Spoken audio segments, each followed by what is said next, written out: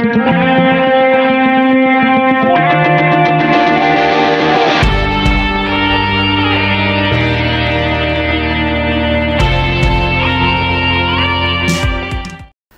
हजरात असलम योम आज़ादी मुबारक। बहुत कम लोग ये जानते हैं कि पाकिस्तान की आज़ादी के बाद ज़्यारत में क़्याम के दौरान बानी पाकिस्तान कायद अजम मोहम्मद अली जिना इस कदर बीमार थे कि शायद उन्हें पाकिस्तान का पहला योम आज़ादी देखना नसीब ना होता। मगर अल्लाह ताला की रज़ा के बाद पाक फ़िज़ाइया के एक मायनाज पायलट के ख़तरनाक मिशन की बदौलत वो मज़ीद तकरीबन एक महीना ज़िंदा रह पाए। आज योम आज़ादी के मौके पर बानी पाकिस्तान के बारे में इन बातों का ज़िक्र करना चाहूँगा जो बहुत कम लोगों तक पहुँची। लेरी कॉलिन्स और डोमिनिक लपेयर ने अपनी किताब फ्रीडम एट मिड नाइट में कायद अजम के बारे में लिखा था। माउंट बैटन को पता था और ना ही किसी और को कि जनाब बहुत तकलीफ़ में हैं, उनको टीबी की बीमारी थी। डॉक्टरों ने उनकी ज़िंदगी में उनके चंद माह की मोहलत दी थी, शायद एक दो साल। मगर वो अपने लिए एक आज़ाद मुल्क हासिल करना चाहते थे, अपना पाकिस्तान जो उन्होंने हासिल कर लिया।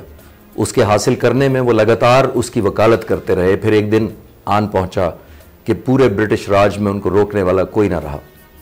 असल मौजू पर बात करने से पहले मैं ज़रूरी समझता हूँ कि बानी पाकिस्तान की ज़िंदगी के आखिरी अयाम के बारे में बात करूँ। इस सिलसिले में कायद अजम के A D C captain Noor Hussain, जो बाद में ब्रिगेडियर के रैंक से रिटायर हुए कि एक चौदह साल पुराने इंटरव्यू से कुछ मालूम शामिल करूँगा जो ग्रुप कैप्टन एस एम हाली ने पाकिस्तान टेलीविज़न के लिए लिया। कायद अजम की टी बी की बीमारी ने पाकिस्तान के क़्याम से तीन महीने पहले, यानी जून उन्नीस को शिद्दत इख्तियार कर ली थी। मगर क्योंकि उन्होंने एक आज़ाद मुल्क हासिल नहीं किया था, उन्होंने बीमारी से जरूरतमंदाना तरीके से फ़ाइट बैक किया। आजकल हम में से कुछ लोगों के जहनों में ये कन्फ्यूज़न चल रहा है कि कायद अज़म को कैंसर की बीमारी थी या टीबी की। इस सिलसिले में मैं यहाँ एक काबिल फ़ख्र बात करता चलूँ कि अमेरिका में रहने वाले डॉक्टर्स और बिजनेसमैन पाकिस्तानियों, जिनमें डॉक्टर आसिफ कदीर, तनवीर अहमद साहब और ताहिर भट्टी साहब शामिल हैं, ने कायद अजम फाउंडेशन यूएसए के नाम से एक तंजीम बनाई है और मेरे लिए ये एजाज़ की बात है कि उन्होंने मुझे कायद अजम का एक एडमायर होने और उनके बारे में मेरी 20 साल हम्बल कंट्रीब्यूशन को मद्देनज़र रखते हुए मुझे इस ऑर्गेनाइजेशन का पैटर्न इन चीफ चुना है। इसी तरह डॉक्टर असलम इलाही अमेरिका में रिहाइश पजीर हैं और कायद अजम के personal physician doctor colonel Ilahi Bakhsh के साहबजादे हैं। मैं कायद अजम फाउंडेशन यूएसए के चेयरमैन डॉक्टर आसिफ कदीर का ममनून हूँ कि उन्होंने डॉक्टर असलम लाही के लिखे हुए तहरीरी सबूत, जिनमें उन्होंने अपने वालिद के बतौर कायद अज़म के फिजिशन के दस्तावेज़ भिजवा कर मुझे कन्फर्म किया है कि बानी पाकिस्तान को यकीनी तौर पर टी बी की ही बीमारी थी, ना कि कैंसर की। एक और सवाल है, जो पाकिस्तानियों के जहन में गूंजता है कि कायद अज़म को सतह समंदर से आठ हज़ार फुट ऊँची जगह ज़्यारत पर ही क्यों ले जाया गया? तो बिगड़े नूर के मुताबिक उन्नीस सौ छियालीस में काजी ईसा, जो पाकिस्तान मुस्लिम लीग के सदर थे कायद अजम को एक वीकेंड पर जियारत ले गए। कायद अजम को यह जगह खुशगवार मौसम और पुरसकून माहौल की वजह से बहुत पसंद आई। पाकिस्तान की आज़ादी के बाद तबीयत नासाज होने की वजह से शुरू में वो कोयटा तशरीफ़ लाए, जहाँ से वो स्टेट बैंक ऑफ़ पाकिस्तान का अफ्ताह करने के लिए खसूसी तौर पर कराची आए। मगर तबीयत दोबारा ख़राब होने की वजह से 14 जुलाई 1948 को उन्हें ज़्यारत मुंतकिल कर दिया गया। ज़्यारत इन दोनों एक छोटा सा कस्बा था, जहाँ कच्चे घर और छोटा सा बाज़ार था, जहाँ ज़्यादातर दुकानें केरोसिन ऑयल और रोज़मर्रा की ज़रूरियात की थी। शायद आप में से बहुत से लोग ये सुनकर हैरान होंगे कि उन दोनों ज़्यारत में बिजली भी मुहैया नहीं थी। एक जनरेटर के ज़रिए रेजिडेंसी को बिजली दी जाती थी, कोई रेडियो और टेलीविज़न की सहूलत भी नहीं थी। और कराची से अखबार ट्रेन के ज़रिए 24 घंटे बाद कोयटा और ज़्यारत पहुँचता था। कायद अजम की हालात हाजरा से आगाही रखने के लिए ज़्यादातर वक्त टिकर मशीन से निकलने वाले एक लंबे लंबे कागजात का मुताल करते गुजरता था। ये टिकर मशीन एक टेलीग्राम के ज़रिए कोडेड शक्ल में मालूम फ्राहम करती थी। इस बात से कायद अजम के मुल्की और दुनियावी हालात से अपने आप को बाखबर रखने का जज्बा समझने में हमें आसानी होगी। बीमारी में शिद्दत और पाकिस्तान में इस बीमारी का इंटरनेशनल स्टैंडर्ड का इलाज ना होने के बावजूद कायद अजम ने अपने डॉक्टरों और बहन फातमा जना के मशवरे के ख़िलाफ़ मुल्क से बाहर इलाज करवाने पर किसी सूरत रजामंद नहीं थे। कायद अजम के दोस्त और अमरीका में पाकिस्तान के सफ़ीर अबुल हसन इसफ़ानी ख़ास तौर पर अमरीका से ज़्यारत आए और कायद अजम को कायल करने की कोशिश की कि अगर आप अमरीका नहीं जाना चाहते तो हम अमरीका से बेहतरीन डॉक्टर यहाँ ले आते हैं। लेकिन कायद अजम ने नौजायदा मुल्क के ख़जाने पर बोझ समझते हुए इस ऑफ़र को एक बार फिर रद्द कर दिया। इसी तरह की कोशिश पाकिस्तान के ईरान में तैनात किए गए सफ़ीर राजा गजनफर अली और वज़ीर ममलकत ख्वाजा शाहबुद्दीन ने भी पेश की। मगर वो कायद अज़म को कायल करने में नाकाम रहे। एक मनफी ख्याल अक्सर पाकिस्तानियों के जहन में यह भी आता है कि लियात अली ख़ान और कायद अज़म के ताल्लुक आखिरी वक्त में कशीदा थे।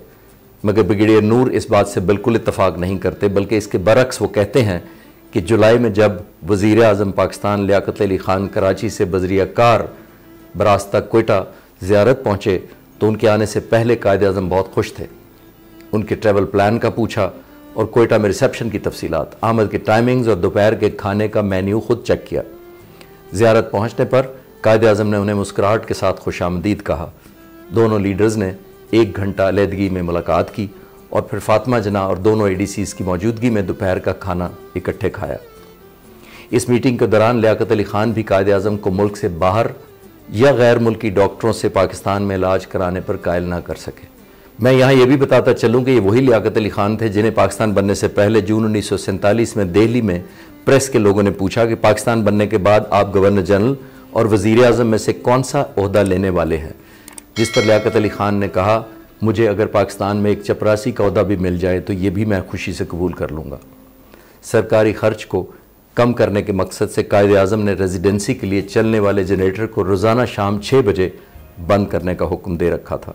उनके एडीसी के मुताबिक एक दिन उन्होंने देखा कि कायद अज़म तकरीबन रात नौ बजे अपने कमरे में केरोसिन लैंप जलाकर सरकारी फाइलें निपटा रहे हैं। तो उन्होंने दरवाज़ा खटखटा कर पूछा कि, सर, आप सरकारी काम कर रहे हैं, मैं जनरेटर चलवा दूँ? जिस पर कायद अजम ने कहा कि यहाँ के तमाम कवानीन और रसूल गवर्नर जनरल पर भी लागू होते हैं और ये मेरी गलती है कि मैंने अपना काम वक्त पर क्यों ख़त्म नहीं किया। और बचत का ये आलम था कि अपने कोटा क़्याम के दौरान डॉक्टरों के मशवरे पर उन्होंने एडीसी को अपनी जेब से रकम देकर अपने लिए गर्म जुराबें लाने को कहा और फिर दरवाजे तक पहुँचे हुए एडीसी को वापस बुलाकर कहा, सुनो, बाज़ार गवर्नर जनरल की कार पर मत जाना और दुकानदार को ये भी ना बताना कि जुराबें कायद अज़म के लिए हैं। कि अगर उसको ये मालूम हो गया तो वो पैसे नहीं लेगा और मैं नहीं चाहता कि मेरी वजह से किसी गरीब का नुकसान हो। मैं यहाँ एक और मनफी राय के बारे में भी बात करता चलूँ और वो ये कि कुछ लोगों का ख्याल है कि कायद अज़म को उनकी मर्ज़ी के ख़िलाफ़ ज़्यारत रखा गया था। मैं इस बात से इसलिए इतफ़ाक़ नहीं करता कि वो बारोब और कदावर शख्सियत जिसकी मर्ज़ी के बगैर कोई गैर मुल्की डॉक्टर उनको देखने ज़्यारत नहीं आ सकता था तो ये कैसे मुमकिन है कि उन्हें उनकी मर्ज़ी के ख़िलाफ़ ज़्यारत ले जाकर चार महीने से ज़्यादा मुद्दत के लिए रखा जा सके। अगस्त उन्नीस सौ अड़तालीस को ज़्यारत में क़्याम के दौरान जब कायद अज़म की तबीयत ज़्यादा ख़राब हो गई तो डॉक्टरों ने एक मखसूस इंजेक्शन तजवीज़ किया, जिसे कायद अज़म को 24 घंटे में लगाना इंतहाई ज़रूरी था। इस इंजेक्शन का मकसद कायद अज़म के जिस्म में टीबी के फैलाव को रोकना था, जिससे उनकी ज़िंदगी कुछ हफ़्ते और बढ़ सकती थी। ये इंजेक्शन कोयटा में दस्तियाब ना हो सका और यह भी बताया गया कि इंजेक्शन दुनिया के किसी किसी मुल्क में दस्तियाब है। कायद अज़म के मिलिट्री सेक्रेटरी कर्नल नोल्स के ज़रिए उसे कराची में तलाश किया गया और काफ़ी कोशिश के बाद आखिरकार सिर्फ़ एक मेडिकल स्टोर से एक ही इंजेक्शन मिल सका।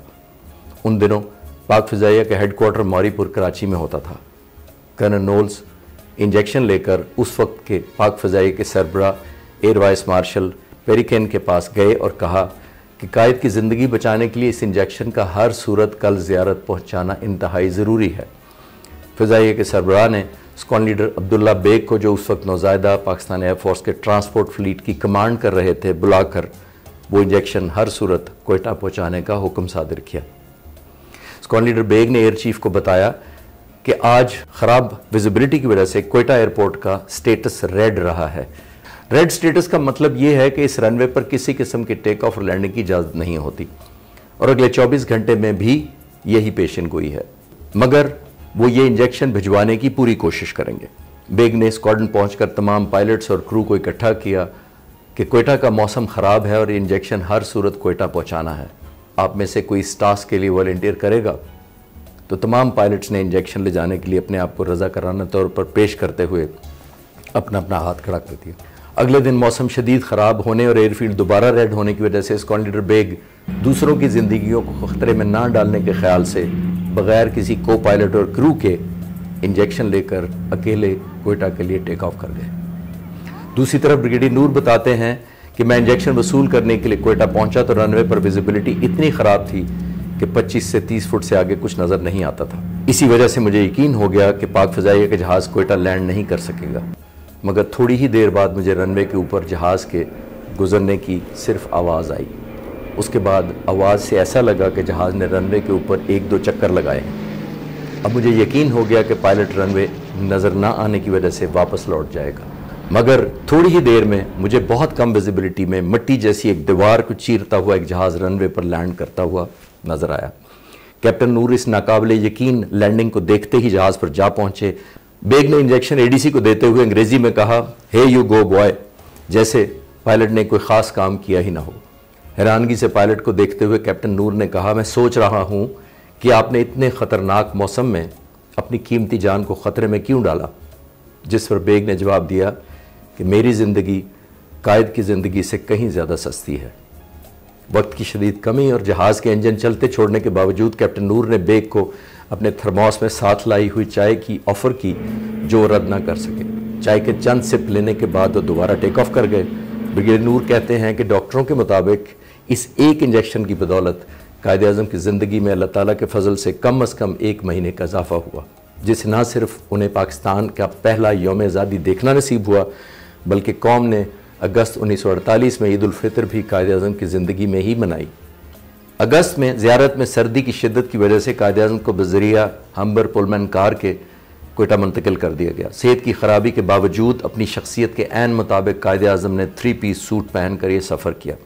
कोयटा में पाकिस्तान के पहले योम आज़ादी के लिए रेडियो पाकिस्तान ने उनका पैगाम रिकॉर्ड किया।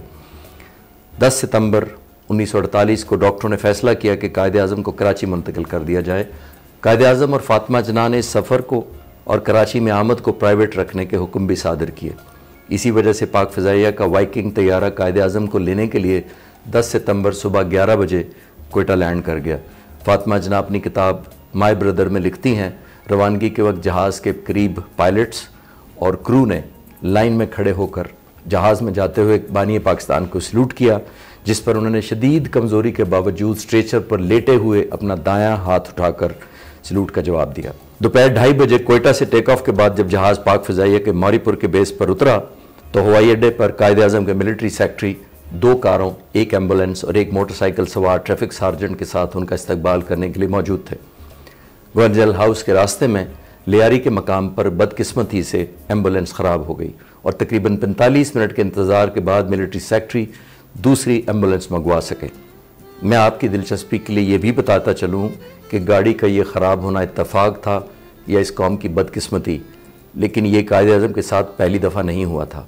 बहुत कम लोग जानते हैं कि 14 अगस्त उन्नीस सौ सैंतालीस को गवर्नर जनरल की हल्फ बर्दारी के बाद लॉर्ड माउंट बैटन और कायद अजम जब गवर्नर जनरल हाउस पहुँचे तो गेट के करीब उनकी अमीर बहावलपुर की तोहफे में दी गई हुई कार में धुएँ के साथ आग लग गई। फौरी तौर पर दोनों गवर्नर जनरल्स को कार से उतारा गया और पीछे आने वाली फातिमा जना की कार में गवर्नर जनरल हाउस पहुँचाया गया।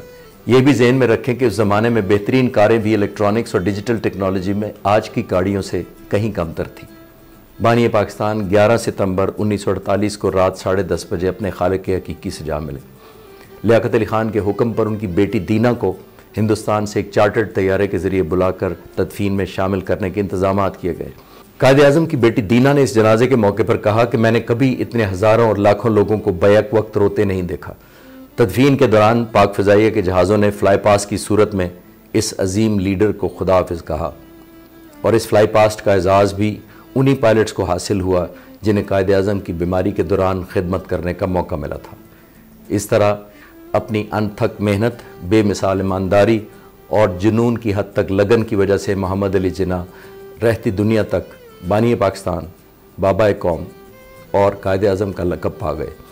और शायद अमेरिका के छठे सदर जॉन क्वेंसी एडम्स ने कायद अजम के बारे में ही लीडरशिप की तशरी करते हुए कहा था कि अगर आपके अमल से दूसरे लोग बड़े ख्वाब देखना चाहते हैं, ज़्यादा सीखना चाहते हैं, कुछ कर गुजरना चाहते हैं और ज़िंदगी में कुछ बनना चाहते हैं तो आप लीडर हैं। कायद अजम का हिंदुस्तान के नौ करोड़ मुसलमानों पर उनके जहन बदल देने का ये बहुत बड़ा एहसान था। मगर सवाल ये है कि कायद अजम के इस दुनिया से रुखसत होने के बाद पाकिस्तान को उन जैसी खसूसियात का हामिल कोई और लीडर मिल सका? इसका फ़ैसला मैं आप और तारीख पर छोड़ता हूँ। पाकिस्तान पाइंदाबाद